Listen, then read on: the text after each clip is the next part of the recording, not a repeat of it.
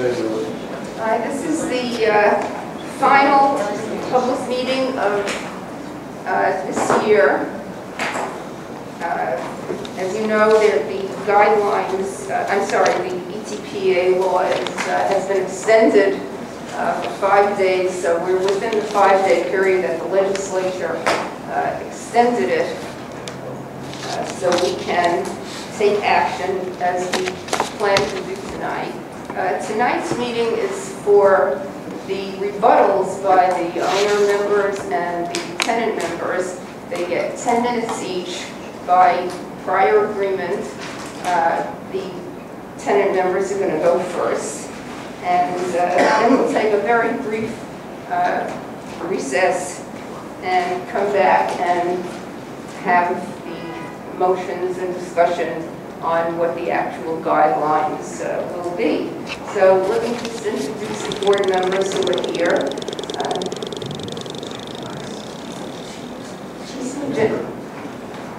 here. Um, I don't remember if she is right this second. Okay, uh, Genevieve Roach is a tenant member. Reverend Emma Jean Lofton Woods, tenant member. Elsa Rubin, public member. Jane Morgenstern, public member. Michael Rosenblatt, public member. Mae Barnes, public member. Elliot Tristan, owner member.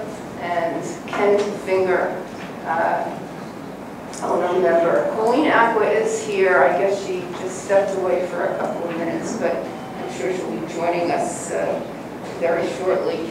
Uh, Chuck, where's Chuck?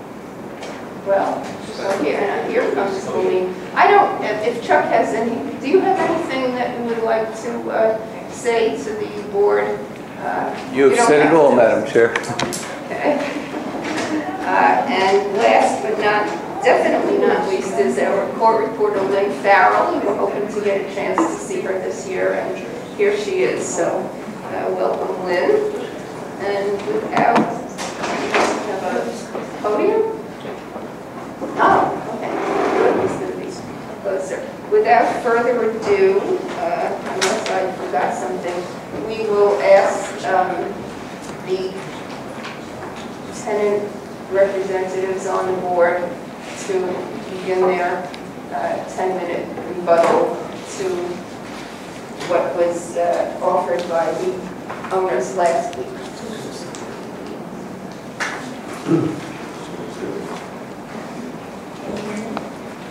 No.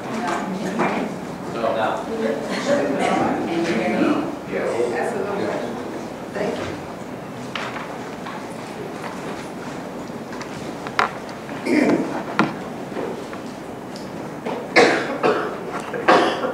Board members, we heard a long discussion last week from the owners, almost their entire, entire presentation in fact, regarding to the existence of the rent laws.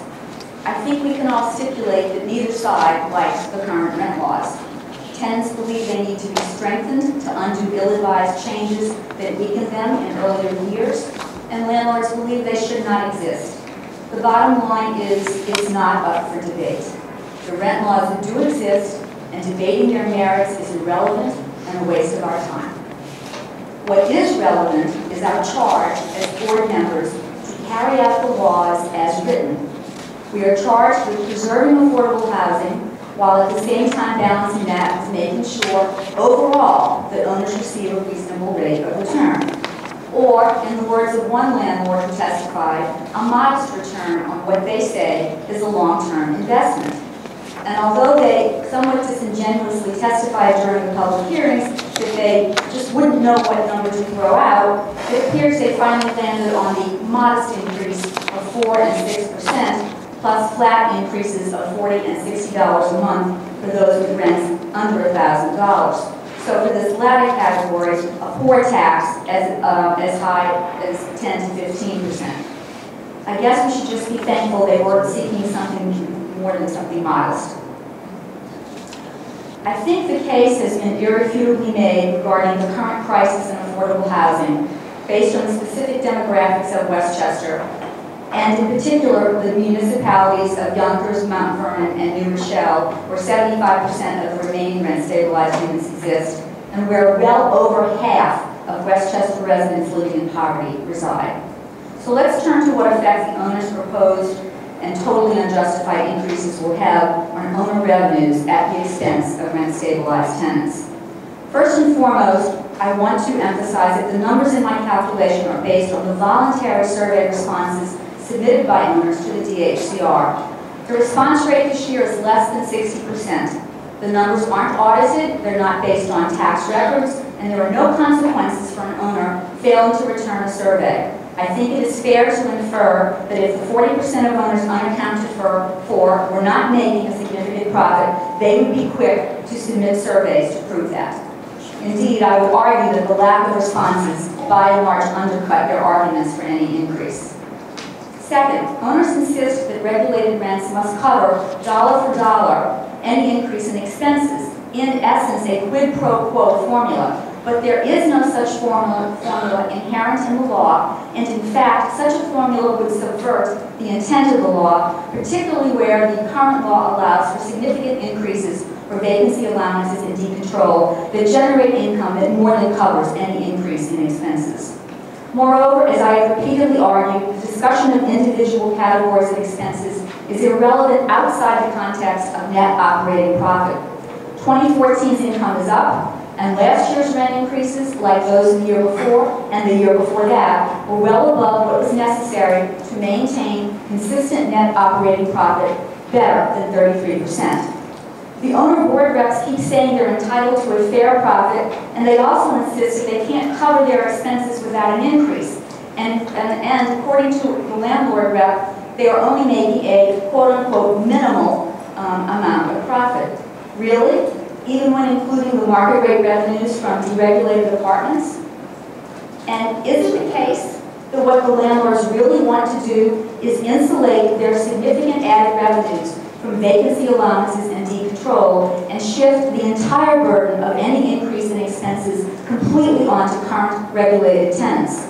Doing so would explicitly run counter to the mandate in the law for the board to help preserve affordable housing. Turning now to additional revenues from proposed increases. So although we're dealing with undoubtedly understated survey numbers, even using those numbers show that a rent, freeze, rent freeze is warranted this year.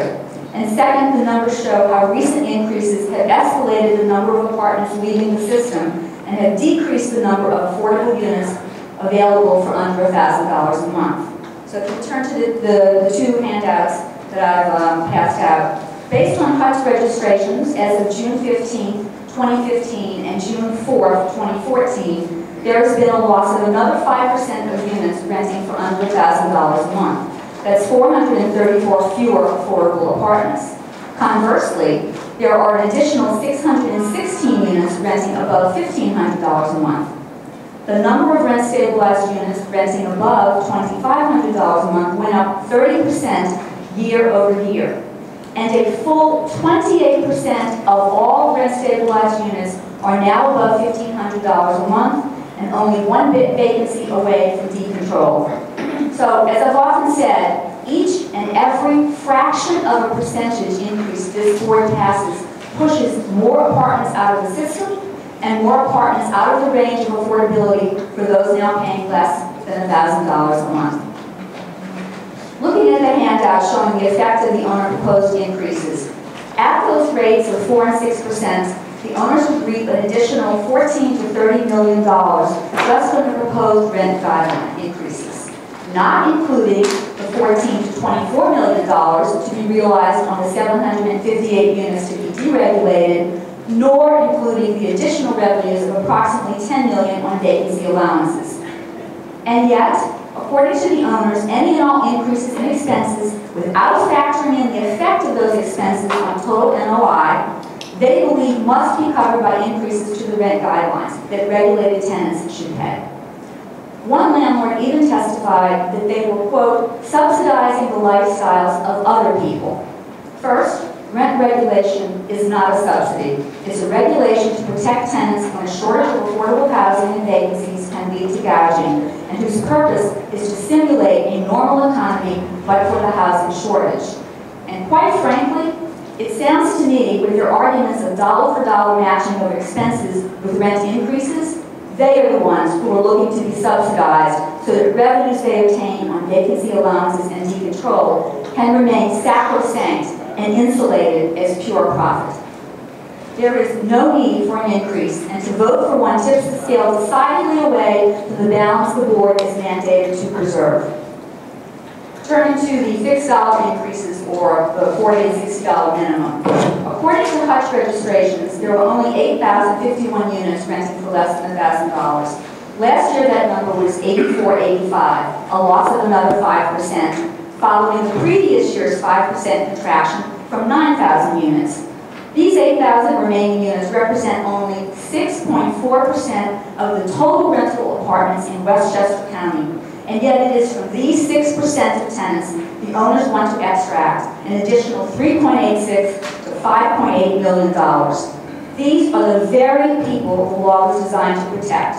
I think it would be fair to say that those 8,000 tenants are more in need of that 4 to 6 million dollars than the owners are. Owners will still reap 33% net operating profit even if we freeze rents this year.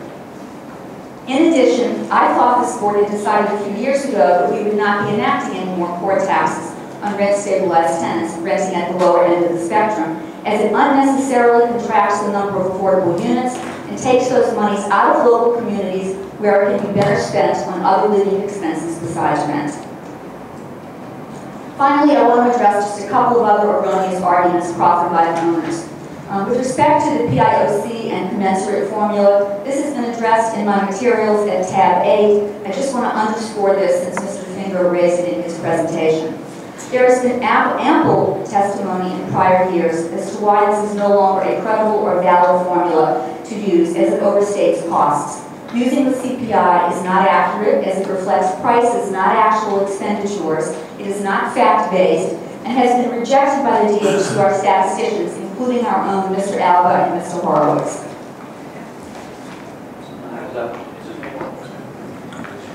I also want to emphasize, address the specter of landlords bailing out on their buildings due to the failure to enact uh, adequate increases. Um, as owners conceive rental property as a long-term investment, and which one are compared to stocks. And given the current seller's market, it would be safe to say that any consummated sales are locking into skyrocketing values. Um, and this is just isn't Tribeca. I've attached two articles in my materials about the increasing value of rental buildings, even those rent stabilized. Just last month, Chase put up put on the market of 13 billion uh, buildings in the Bronx, 90% which are rent stabilized, asking $90 million. Uh, in conclusion, there is absolutely no need this year to enact any increase, given past increases that were highly necessary, consistent net operating profit levels, even without factoring in rent increases, and without even taking into account other 40% of apartments not included in the survey, and without accounting for the revenues attributable to vacancy rules. We cannot limit rent, in, and rent increases to every quarter of a century. It is the board's duty in the face of reasonable returns freeze rents this year and preserve the remaining units of affordable housing in the system.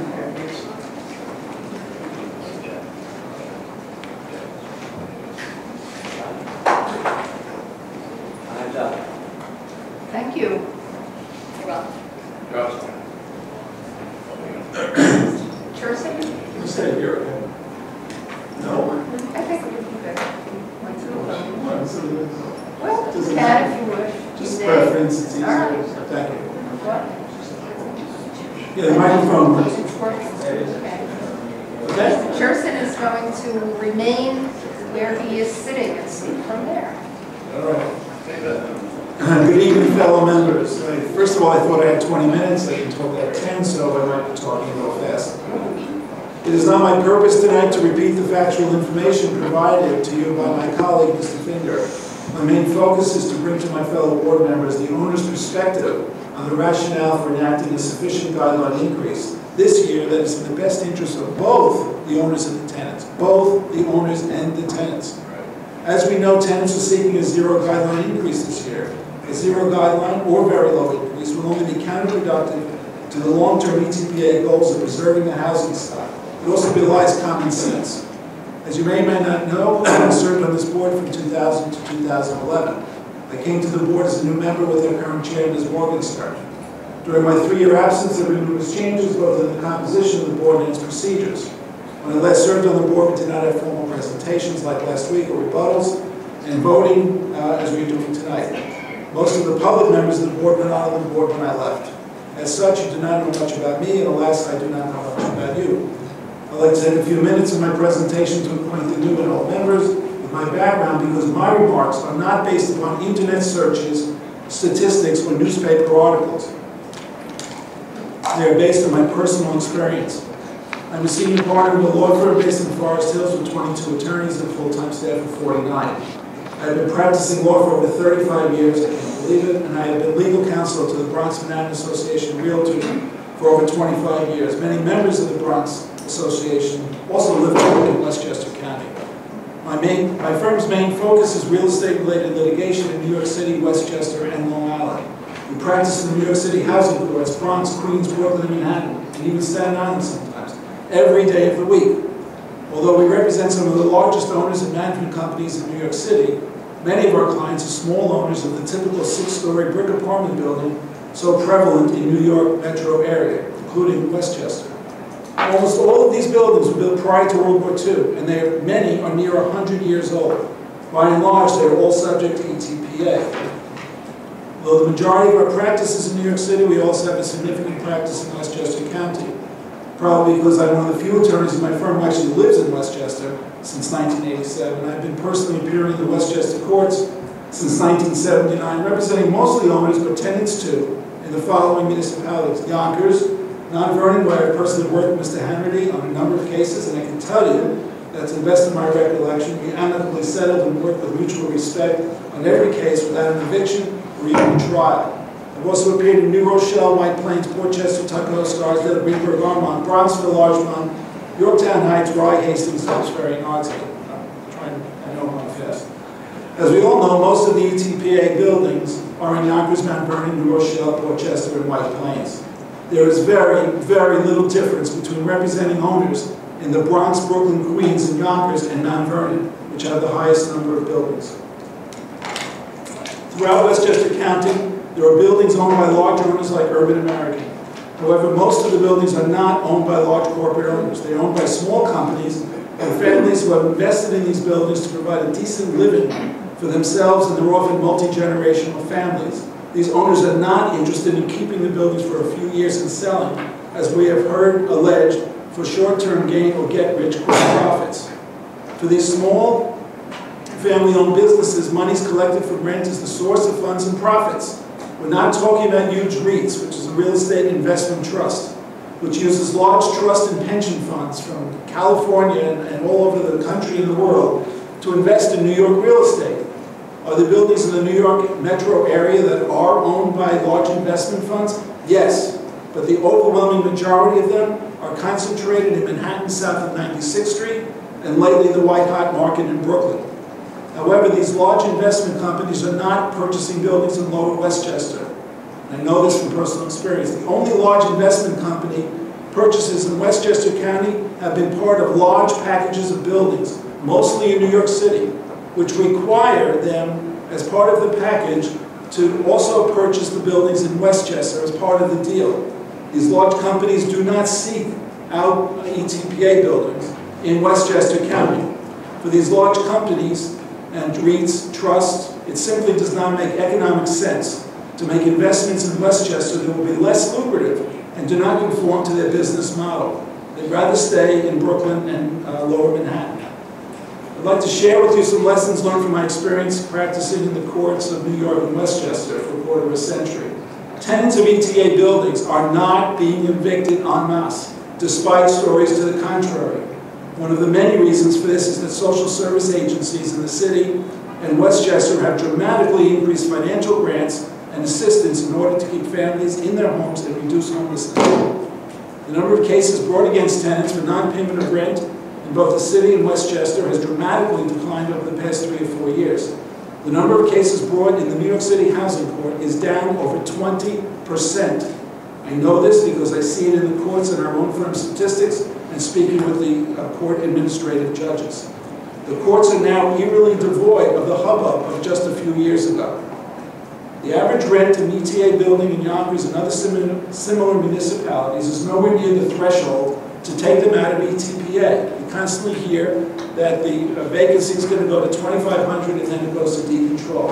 I personally cannot think of one apartment owned by any of our clients in ETPA buildings that is anywhere close to the $2,500 threshold. The overwhelming majority of rents are still below $1,000 and some substantially lower. It is a fallacy, even with testimony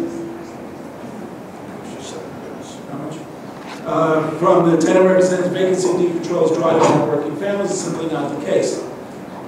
As you have heard, uh, that nearly 100% of the cost to owners are completely beyond the owner's control, taxes, water, insurance, fuel, etc. The one cost that owners do have some control over is, of course, repairs and rehabilitation. With many, many buildings well over 50 years old, repairs and rehabilitation is an absolute requirement. You have heard from a number of tenants about the bad conditions in their apartments. None of my clients, and certainly owners in general, want their buildings to fall into disrepair. While it may be that tenants are reporting poor living conditions in their apartments, as many of us know, repairs can be timely and sometimes the extent of repairs needed is exaggerated. Why would a landlord wish for his building to fall into a state of disrepair? Isn't a building in good condition more valuable than one that is in poor condition? That said, given the variability and flexibility that owners have in negotiating the cost of services, it makes economic sense for an owner to maximize cost savings by lowering costs related to repairs.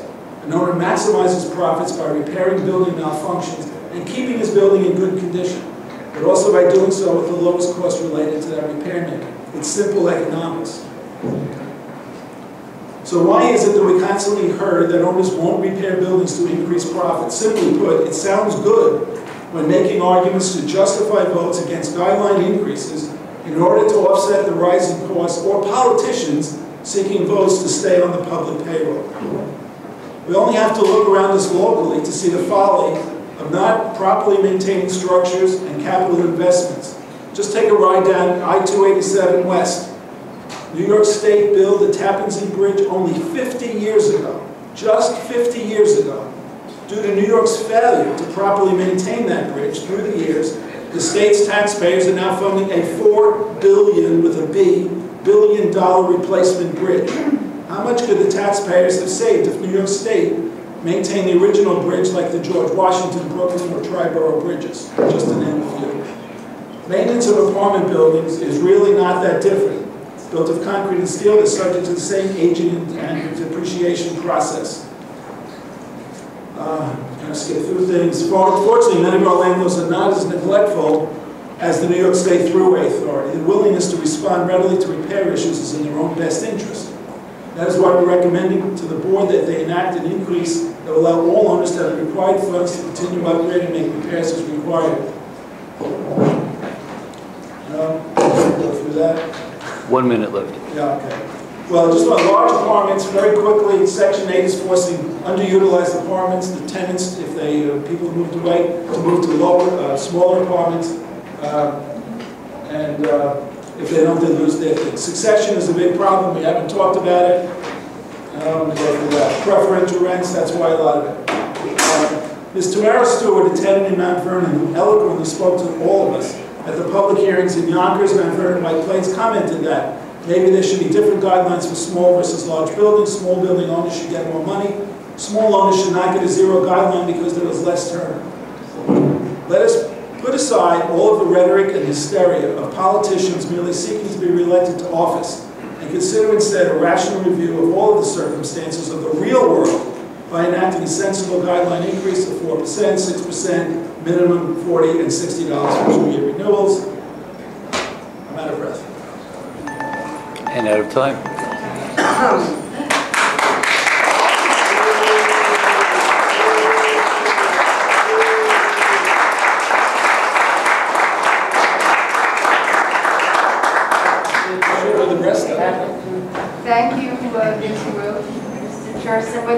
about a five-minute break and uh, come back, and I will entertain motions uh, for rent guidelines for this year.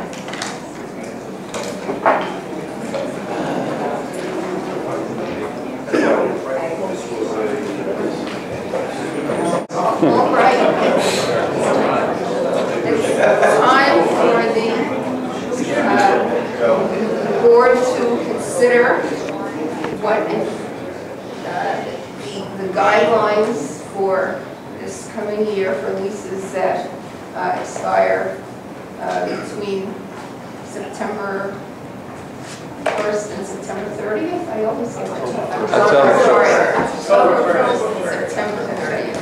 October 1st and September 30th. Yes, October 1st and September 30th. Uh, So let me ask, uh, does anybody wish to place a motion uh, on the floor? Tenant owners, Mr. So, uh, yes, I move for four percent increase for one year, six percent increase for two year, and forty and sixty dollar, uh, low rent uh, minimum.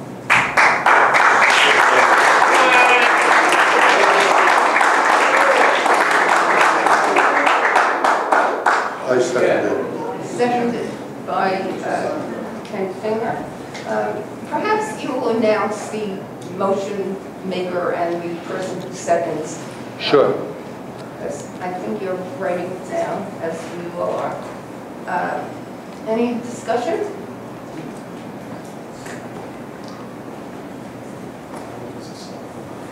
Hearing no discussion, uh, let's have a vote. And will you hold the board, please?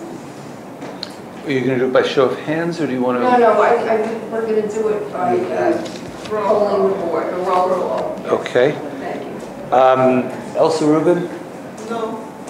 Beleen Aqua? No. Eddie Mae Barnes? No.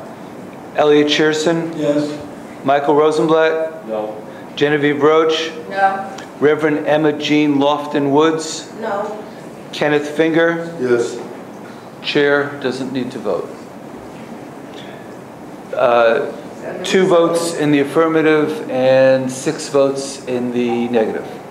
Okay, the motion fails. Uh, Do I hear another motion? Yes, Reverend Lofton Woods? for a one-year lease, I'd like to motion 1.75. Sir, can you speak up, please? No, no, oh, I'm sorry. Wait, Just a moment. Mr. For a one-year lease, a zero increase. For a two-year lease, a zero increase. I second the motion. Discussion? Board members? No discussion? Will you call? Roll call, Elsa Rubin? No. Beleen Aqua? No. Eddie Mae Barnes? No. Elliot Cherson? No, Michael Rosenblatt? No. Genevieve Roach? Yes. Reverend Emma Jean Lofton Woods? Yes. Kenneth Finger? no, And the chair once again does not need to vote. Again, two votes in the affirmative, six votes in the negative.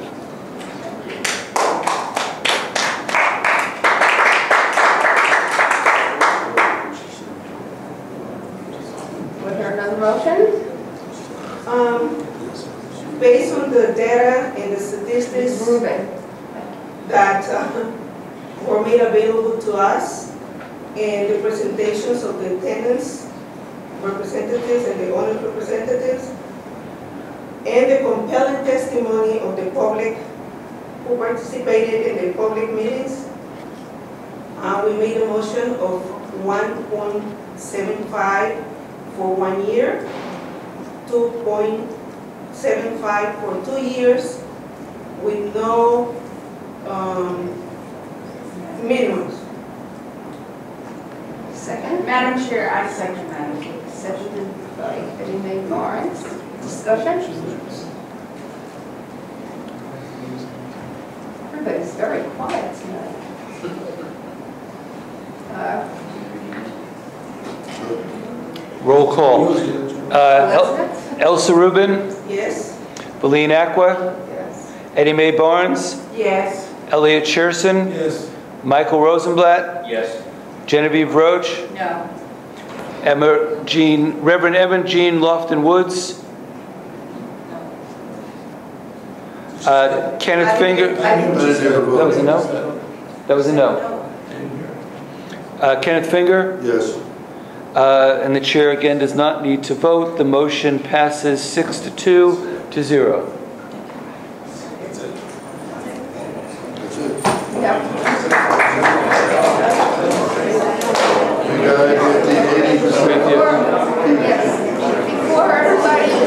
Wait, wait, wait, wait, wait.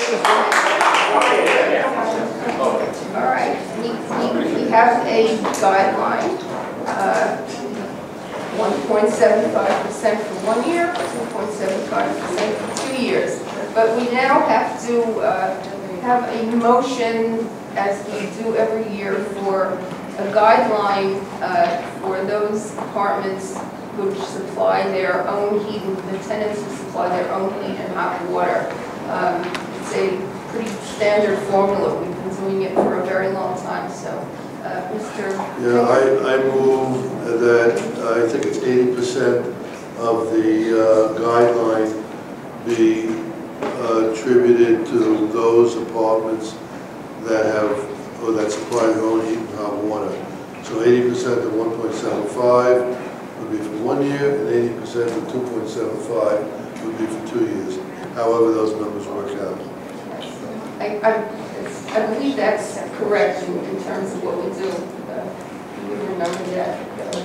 Uh, Shall we, The second? Second. seconded by Elliot Johnson, Uh, motion by Does Ken. does anybody have a calculator Yeah, to, I uh, do, I do it on the machine. I, I I, got ju- one, I got one of myself. Ken is doing it. If I can find it. I don't think we need a roll call vote on this.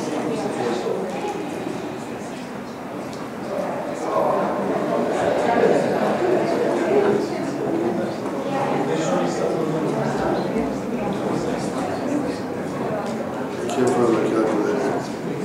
Oh, Here it is. All right, uh, Well, let's, let's uh, first have a a vote on the... Hold on. I'm sorry. Did you figure it uh, out? one point four and one point seven five. One point four is eighty percent. That doesn't, that doesn't sound right. The- the- the- Who said, who said? 1.4 One point four. and, and And 2.2. do the other 2.2, Mike? Can everybody quiet down, please? Where's your gas I don't, I don't have a gavel. Not today. I can use the new, well, microphone, but I don't think they appreciate that. Two point, two point two. Two point two is eighty percent of two point seven five. So it's one point four and two point two for those apartments that supply their own heat and hot water. Okay, The motion was made by Mr. Finger, seconded by Mr. Cherson, all in favor? All right, Aye. Aye. No. No. Okay, I'm sorry, I... So again, it's 6 to... So, Mr. Cruz. So roll call, Roll. Elsa Rubin, Yes. uh, Valina Aqua, Eddie Mae Barnes, Yes. Elliot Cherson, Yes. Michael Rosenblatt, Yes. Genevieve Roach, No. Reverend Emma Jean Lofton Woods, No. Kenneth Finger, Yes, Jane Morgenstern. Oh, you don't vote. So six to two, and um, the chair is not voting. Just a statement about that, about that. okay, Mr. Rosenblatt would like to make a statement Based on what Mr. Fingerich said, heat and hot water, traditionally it's been if the tenant supplies his or her heat You have to or hot water. Louder, louder.